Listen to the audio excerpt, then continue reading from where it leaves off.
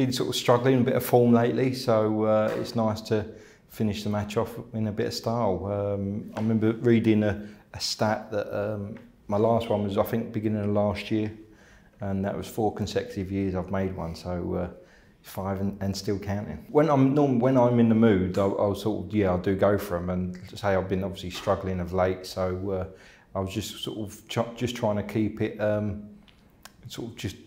I'd, I had a chance, I think, off the first red to open the Reds up, and I thought, no, just sort of try and build a lead up. And when I went into the Reds, they split nice. It was like, I've got to go for this. It's, it's on. And uh, like this season, I've obviously missed out on Turkey, missed out on Germany, and uh, you missed obviously the fans interacting with the fans. And so it's nice to come back here. Um, the weather looks a bit better today. We we landed in orange cloud, um, but. Uh, yeah, it's say obviously got good memories from three years ago, obviously winning it. So uh, yeah, so it's it's nice to put on a show and uh, and feel good in the game.